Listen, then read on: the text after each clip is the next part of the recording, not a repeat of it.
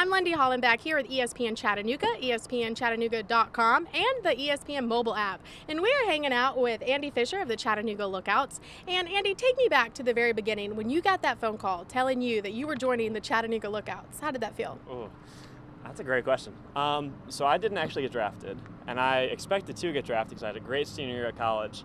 And the day after the draft, I was just pissed off to no end. I was like, God, how did I not get drafted? I just had like a two ERA my whole college season, so I was just killing time throughout the day. I actually went for a bike ride because I was so angry. I was like, I got to burn off some steam here. Kept my ringer on and pulled over to the side of the road. Got the phone call, and they were like, Hey, do you want to come throw a baseball for the Cincinnati Reds? I was like. Sounds better than the banking job I was going to take. So yeah, absolutely, let's do it. And it was just a whirlwind from there. Came in with all the other draft guys. I feel like I actually did get drafted because I was with them this whole process. And getting up here to Chattanooga has been awesome. Best city I've played in yet. Well, good. So you're from Illinois originally, is that correct? Ye- ish. Ish? Yeah. Okay. Illinois, Ohio, Midwest. It's all okay, same. same thing. Yeah. How do you like Chattanooga compared to back home? I don't want to make the people back home mad. Um, Speak the truth. this is I lived here this past off season as well because I love this city.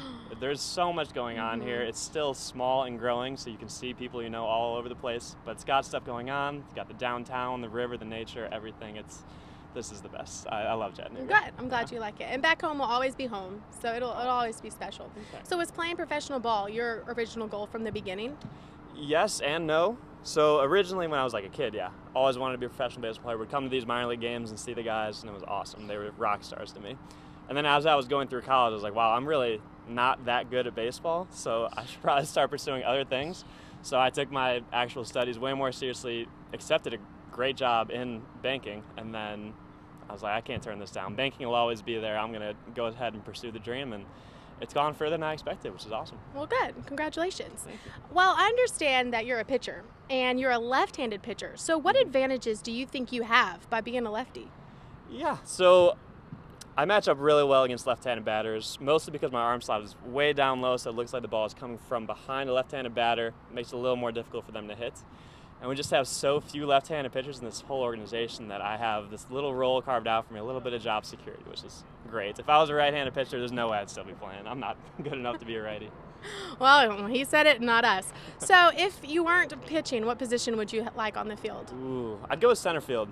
You get to see everything that's happening, anything that goes to the outfield or in action. I, I, I would go center. Okay. And what's been your favorite restaurant here in the Scenic City? Ooh, that's a good question. The easy answer is Milk and Honey. Like Oh. we always go there for brunch on our off days. It's wonderful. Um, the best pizza spot I've had here so far, though, is a little place called Pizza Quartile up in Red Bank.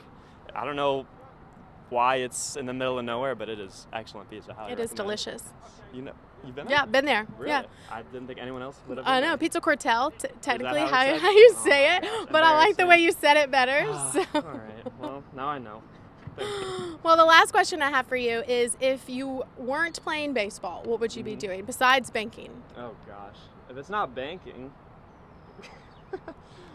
um, I've always enjoyed bartending. That's kind of my off-season job. I'll go to wherever I'm living at the time and get a bartending gig to make money in the off-season. And I do enjoy those conversations with the people while you're getting them drunk. It's a win-win, you know. But that's probably end up. But I feel like I'm wasting my degree if I do that. I, I should have prepped for this question. This is on me. Well, no, you're a jack of all trades, so Oh, you got a long resume. well, this is Andy Fisher, and I'm Lundy Hollenbeck here with ESPN Chattanooga, ESPNChattanooga.com, and the ESPN mobile app.